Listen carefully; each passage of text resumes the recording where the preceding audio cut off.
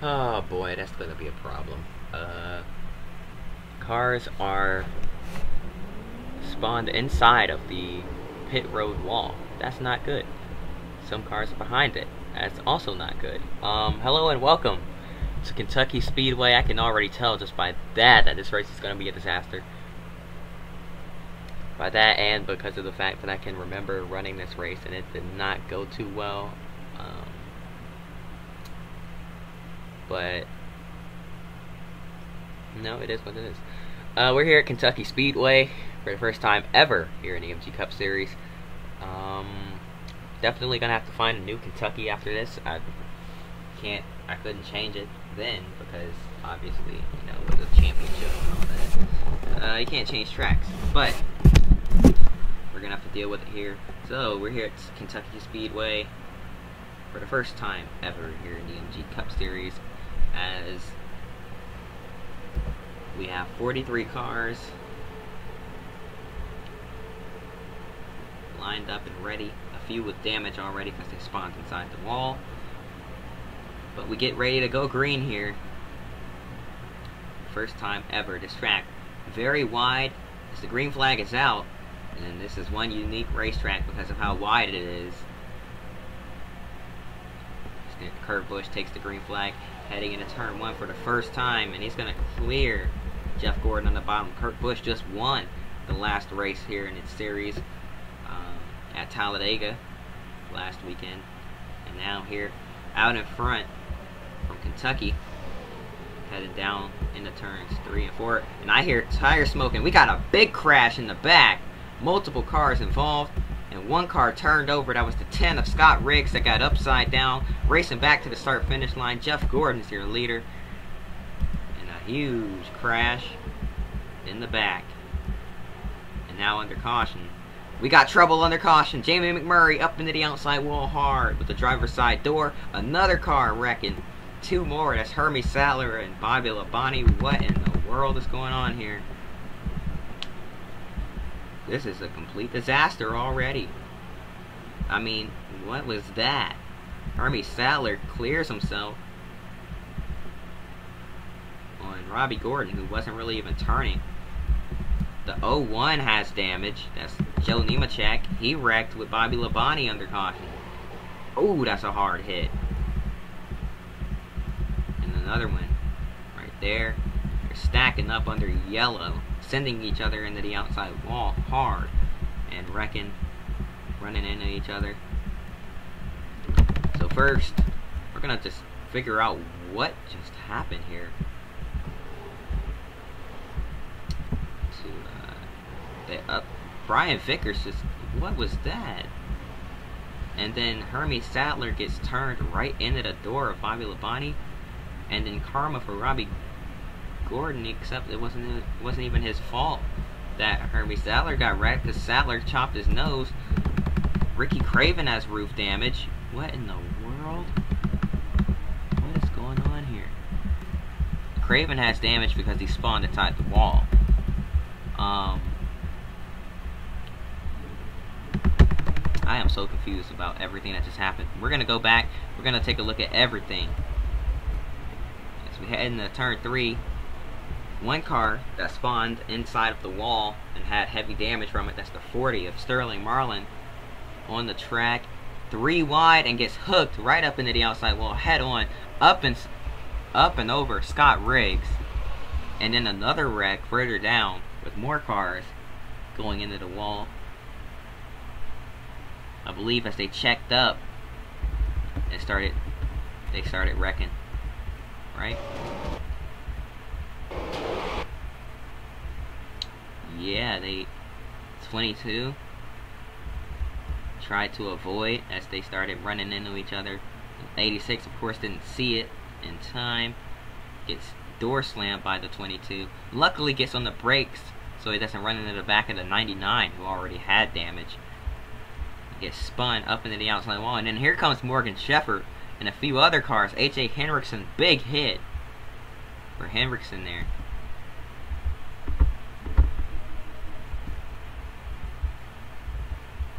what in the world is going on here? These guys, three wide, they try to go down and avoid it, and they just sandwich each other. And Morgan Shepherd and Derek Cope, all these guys go right into the outside wall and destroy their race cars. The race really hasn't even gotten started yet.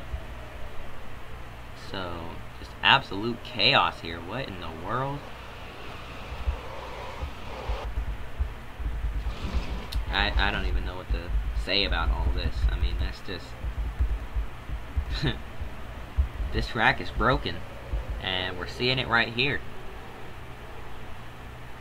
Because Brian Vickers just, for no reason, right down into the 42. What looked to be intentional from his AI, but really was just the track being broken in it and the AI not knowing how to try. Look at this. On the front straightaway, they're turning right into the outside wall under caution. I'm not sure what they're doing or where they're going. They're cutting through the grass to get onto the access road. I mean, wow. Talk about chaos here. We're seeing it at Kentucky Speedway.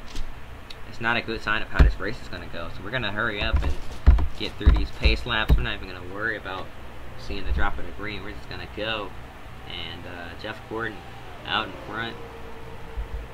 Two lap cars starting in front of the field. And everyone tries to get to the bottom. They all get stuck behind the lap cars of Greg Biffle and Buckshot Jones, or excuse me, the 09, that's uh, Johnny Benson. Alright, through three and four, they're making it through somehow. We're going to complete a lap under green here at Kentucky.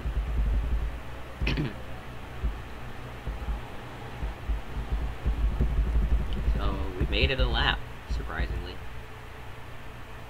With a broken racetrack. And lap traffic holding up Kevin Harvick and everyone behind him. Three wide through the middle goes Elliott Sadler. Um, dropping frames for no reason at all. They sort that out pretty quickly. Harvick still being stuck behind. Oh, they're checking up on the fresh fresh. Just like that Rockingham problem I had in the late model race where they were just kind of tapping the brakes in the straightaway. So that's another problem. Um, not sure really even how to fix that. They're just, I mean, it's just the track being broken. That's all I can say.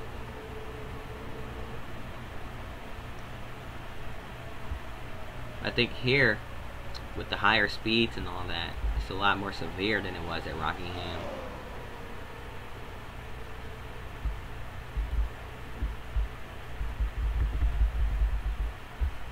But uh, side by side for the lead, Jeremy Mayfield took the lead at one point, but now here comes Jeff Gordon back on his in, inside, side by side, out of turn four. Coming to the stripe it's going to be Gordon taking the lead back here in that Rainbow Warrior machine. That famed paint job that he drove early on in his career. He brought it back for this season here in the MG Cup Series. And now, out in front, running some very good races here.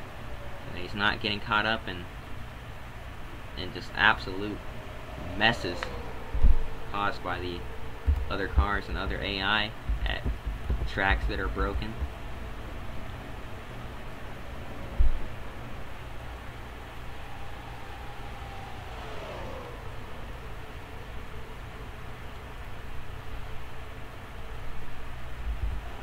Out of turn two, get a good flyby. I like that about this track. But one thing you may notice about this racetrack is very wide, a lot wider than a lot of other tracks here on the schedule. So it'll be very interesting to see. I mean, you'd think with a wider track like this, drivers will have more room to escape wrecks, but since the groove is right down on the bottom and everyone wants to be on the bottom all the time, it doesn't really it doesn't really help that much.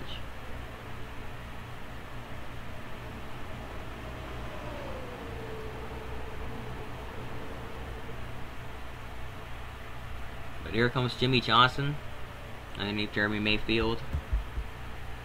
The Hendrick cars are very fast here today. Okay, this race, the racing itself isn't half bad, actually. But with the track being broken, a lot of pre-race stuff kind of overshadows the things that happen during the race.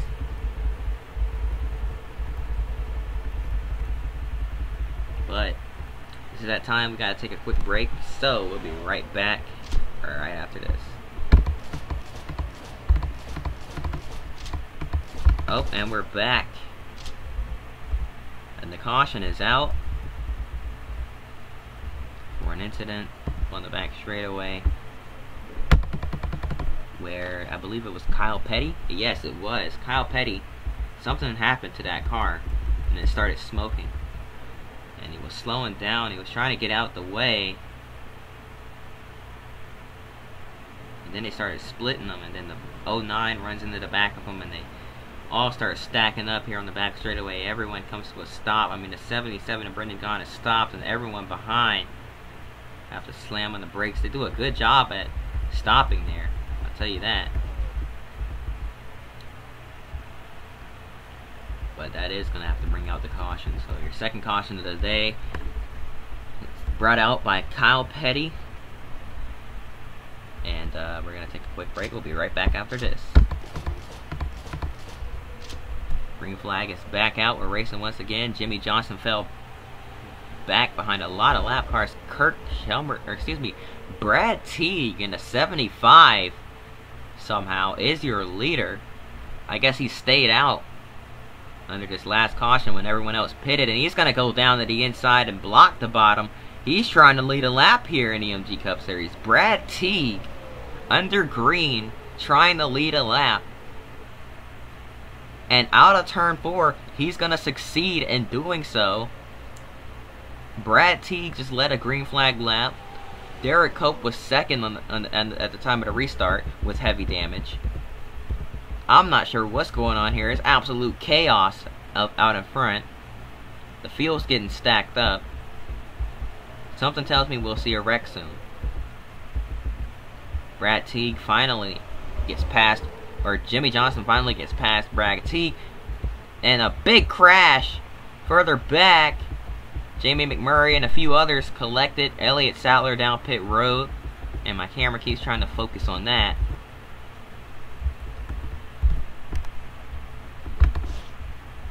And, uh, whoops, hold on. Um, I'm not even sure what lap we were on. But,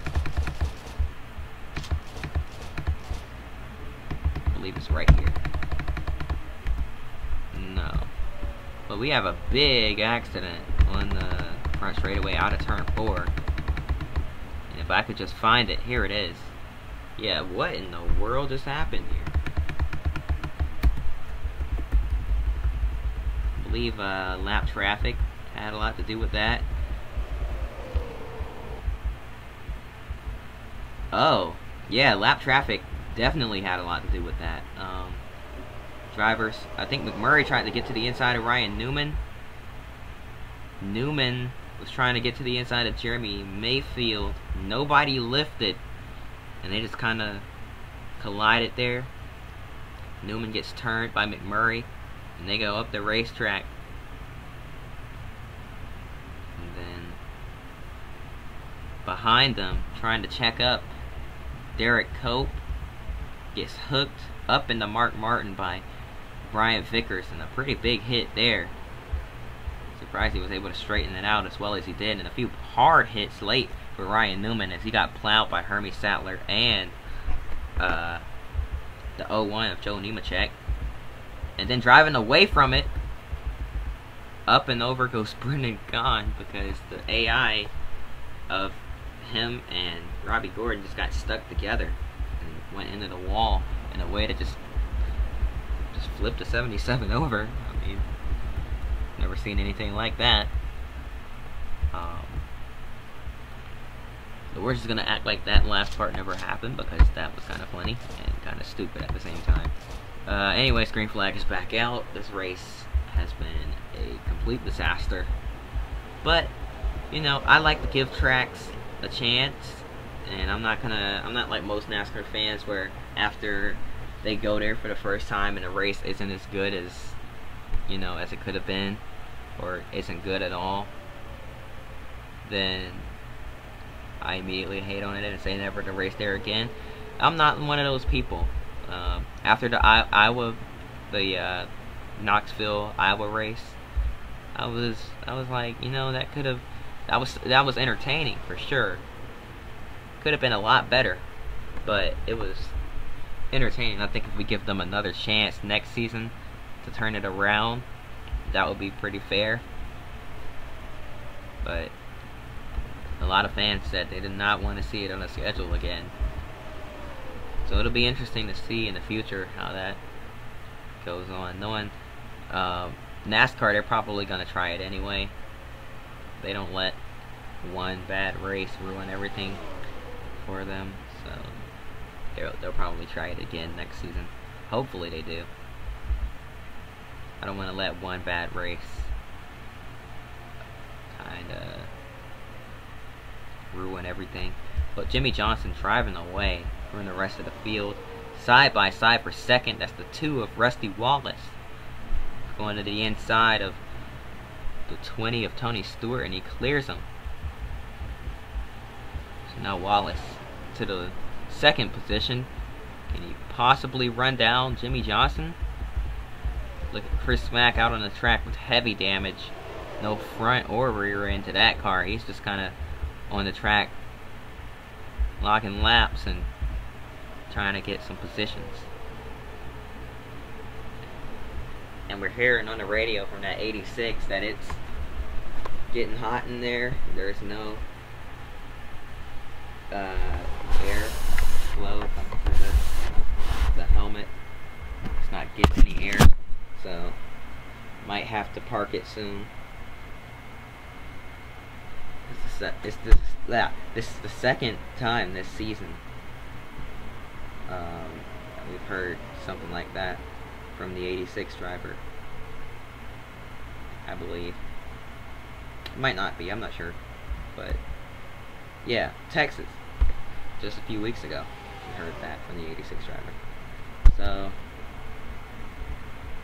it's gonna be looked at in the future. Once these cars get damaged, some things happen and they're not able to get air to the driver. I mean, it's not that much of a difference. It's only about maybe 5 degrees cooler, but still better than nothing. So, it's definitely going to be a problem. I mean, it's 140 degrees inside these cars. So, that that's for sure going to be an issue. But, anyways, Jeff Gordon and Bobby Labonte getting ready to battle it out here, it seems. Gordon was pretty dominant early on, but it's kind of fallen back. His teammate, Jimmie Johnson, has taken over. And this is that point where we have to take another break. So I'll be right back after this. And we're back here from Kentucky Speedway probably skipped way too many laps, but let's face it, this race hasn't been the best. And I'm ready to delete this track from the game and look for a better Kentucky.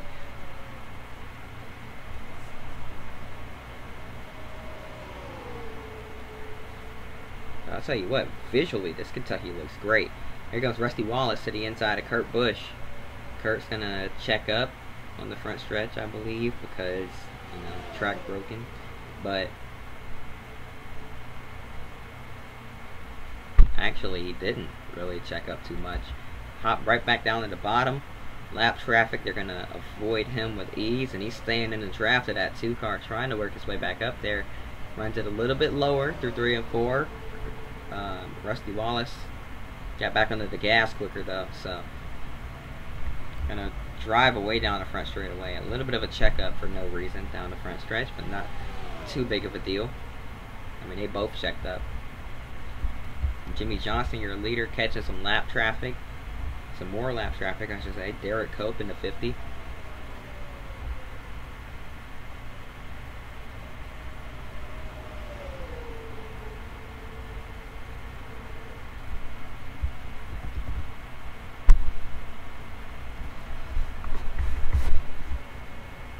And I'll tell you what, when Brad Teague, Brad Teague led that lap, I'm pretty sure Kirk Shelmerdine had a smile on his face to see his team out in front, even if it may have just been for a lap due to a pit call.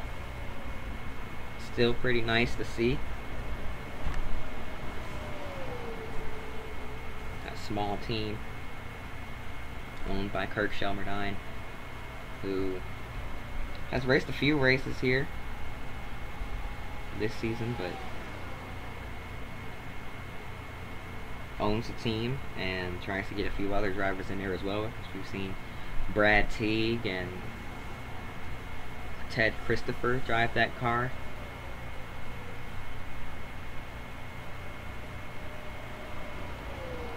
I believe this is Teague's first or second start this season. I don't really remember that well right now. But these two still going at it. Kurt Busch, Rusty Wallace.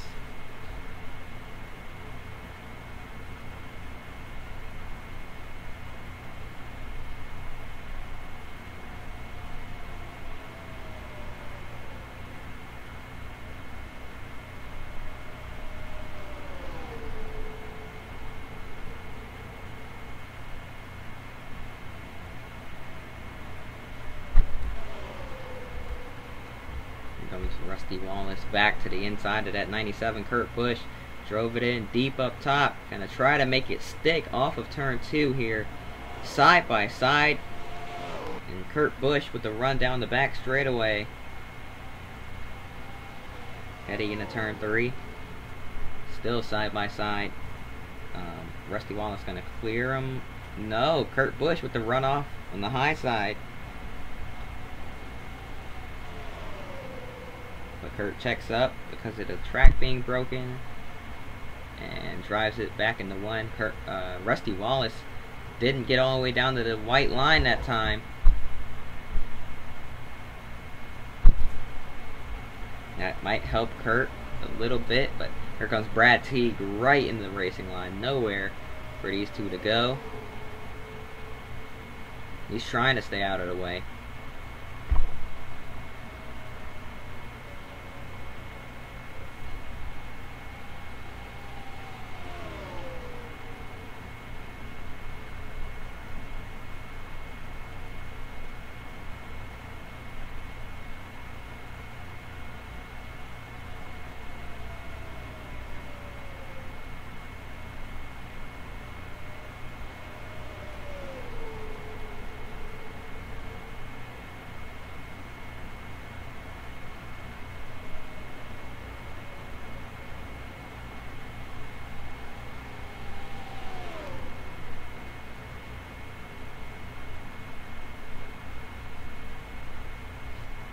Kurt falling back. Looks like that's the end of that battle.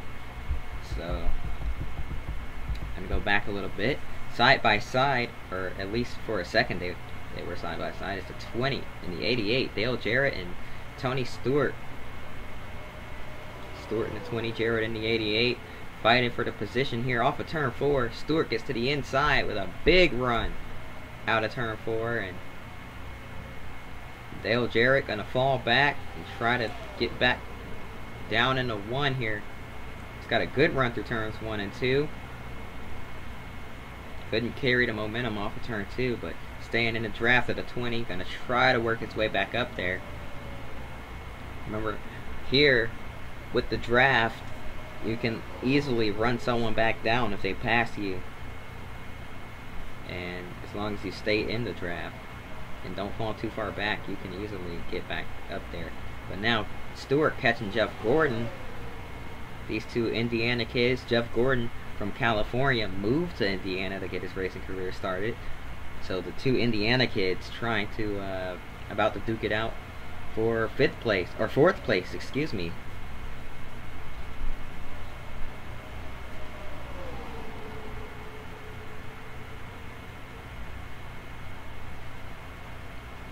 Side by side down the front straightaway, Jeff Gordon checks up because the track's broken. And, uh, whoa, look at this. Battle for second is back on. Rusty Wallace got held up by some lap traffic. That's the 16 of Greg Biffle, a teammate to Kurt Busch. And now here comes Kurt Busch right back to the inside. A possible pick and roll type deal. Heading down into turn three. Rusty Wallace going to let the 97 by. Going to try to get back in line here through one and two. Kurt Busch didn't get all the way down to the, the white line. And here comes Rusty off of turn two. Looking to the inside. Can't get there. He pulled out of the draft, so he had no help down the front stretch. Was hoping to do it off of pure horsepower there, but just couldn't get the a good enough exit. Got a good exit to stay with him, but just not a good enough exit to get the run down the front stretch and stay on this inside. Or down the back stretch, I should say. So this battle for second heating up, but Jimmie Johnson way ahead. Seems to have already wrapped this one up. Counting the money and getting ready to dust off a, a, or, or clear out a spot in his trophy case and dust off some of the older ones that he he got from his uh, other wins from last season and earlier this season.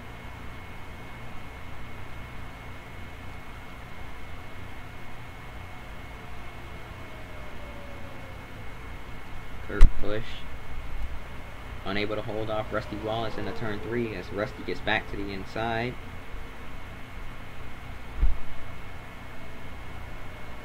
And here comes Kurt down the front straightaway, and that could have been bad if Rusty kept going down. He would have cleared himself and put them both in the wall, but luckily he didn't go all the way down to the bottom. Kurt Busch takes the spot.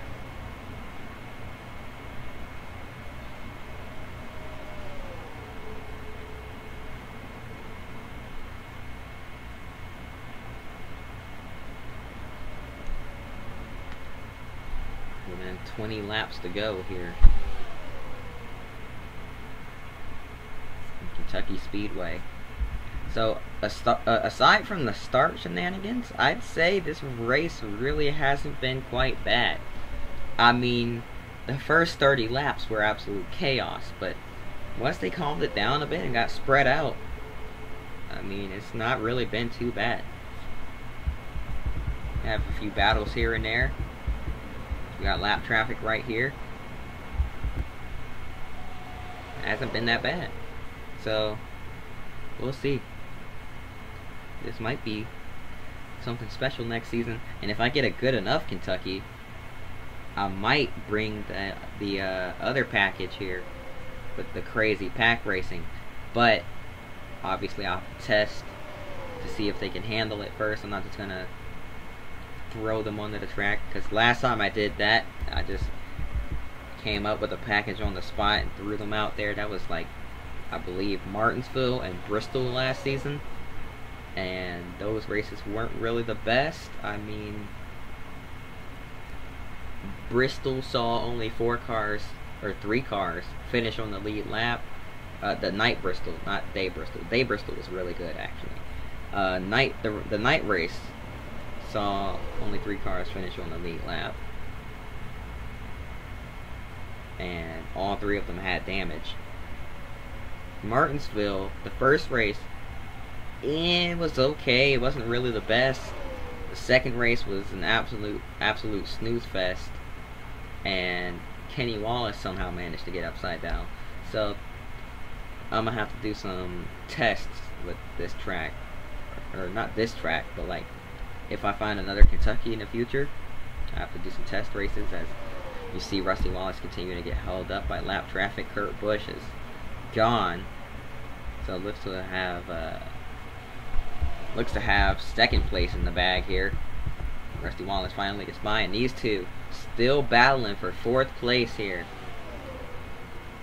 Tony Stewart and Jeff Gordon still going at it. The Indiana kids side by side, all the way from the front stretch down the back stretch and into three. Stewart not giving up quite yet. Now gets cleared by the 24. And here comes Dale Jarrett with a run on the 20. These three have been going at it for the last, I'd say, 20 laps or so, ever since the restart, really. These three have just been going at it. It's a three-way battle for fourth.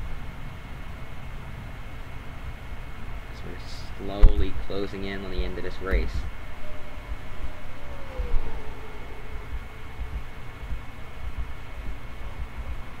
Your leader, Jimmie Johnson, just checked out early on in this run and never looked back sporting a mostly silver scheme for Hendrick Motorsports and their special thing this season. I believe it's the 20 year anniversary, but I'm not sure. I forgot. So many special schemes this season. I don't even remember all of them. But yeah, sporting some special colors for the boss on the 48 this season. And absolutely dominating here at Kentucky. He's also won at Bristol Dirt.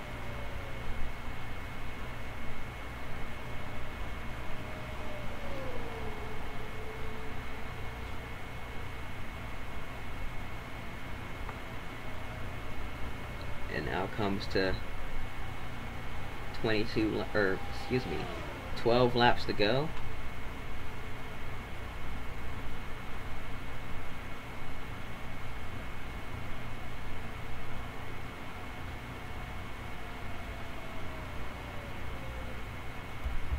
So we go back to the battle for fifth, never or fourth. Never mind. That is uh, that battle ended quickly.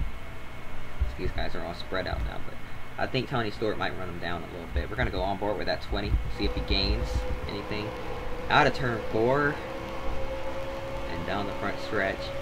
I think he's a little bit too far back for draft as they check up on the front stretch for no apparent reason. But through the corners, I think he's getting them a little bit here and there. I think he's running them down slowly. So we'll see if this battle becomes anything as we have more lap traffic in front of Jeff Gordon here.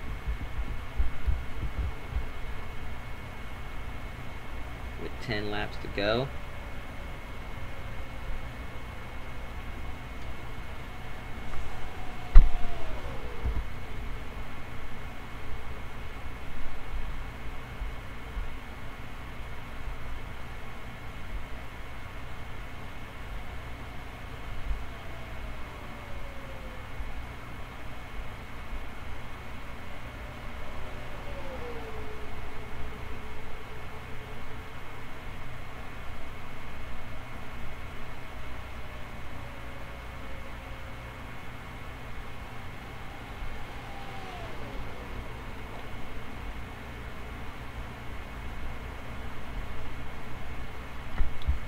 Gordon.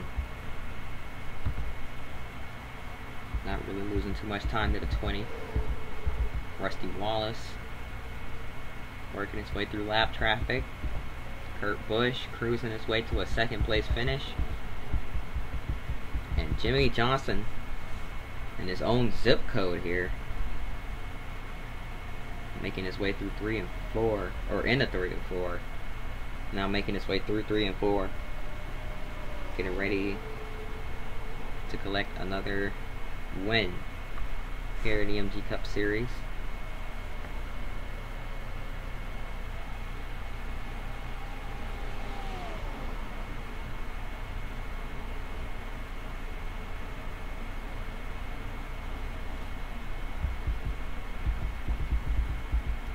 Kurt Busch to the inside of the lap cars on the back straightaway.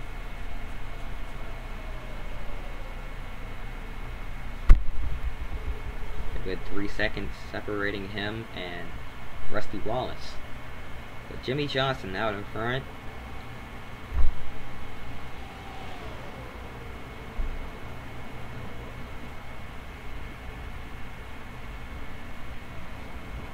And um, I guess a little bit of news for next season. The Daytona Road Course will not be back on the schedule for next season because of that little lip on the track there that the drivers kept hitting, and it was causing massive accidents. So you just can't afford to.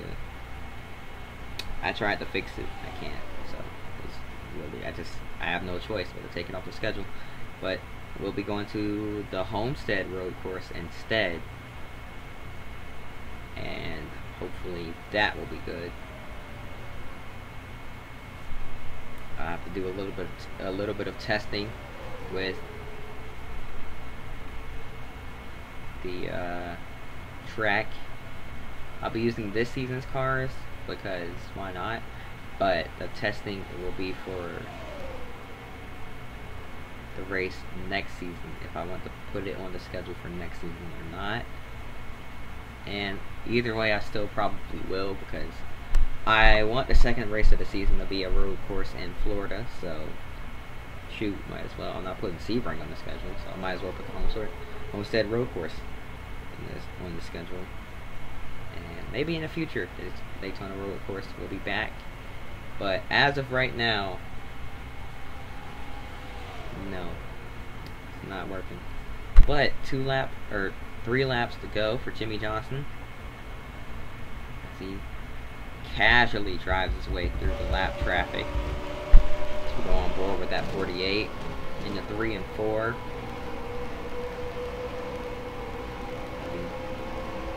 Coming to 2 to go this time by. Down the front stretch, that's the 38 of Elliott Sadler in front of him. Checks up a little bit.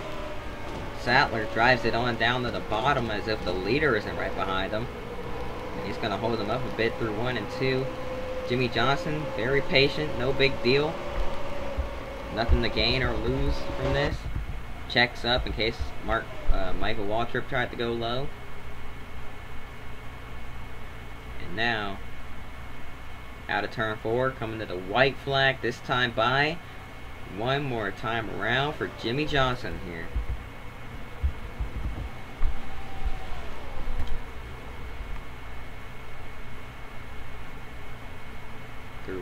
Two for the final time. Jimmie Johnson. What happened to Kurt, uh, Rusty Wallace? Rusty Wallace seems to have pitted. He did pit.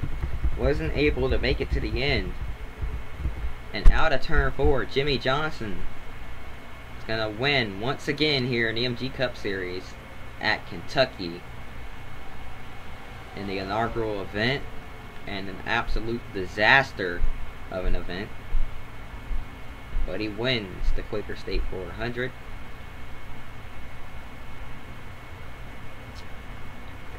And um, I just don't even know really what to say about this. That was it started off chaotic, was good towards the middle, and at the end it was an absolute snooze fest. So, I mean, shoot, I really don't know what to say. So, that's gonna do it for this one. Hope you guys enjoyed. Um, because I'd say overall that was a pretty good race, or not overall, but towards the middle and end after we got through the uh, shenanigans. That was a pretty good race. So, yeah, as I said, hope you guys enjoyed. If you did, hit the like button, subscribe. Hope to see you guys next race. And until then, peace.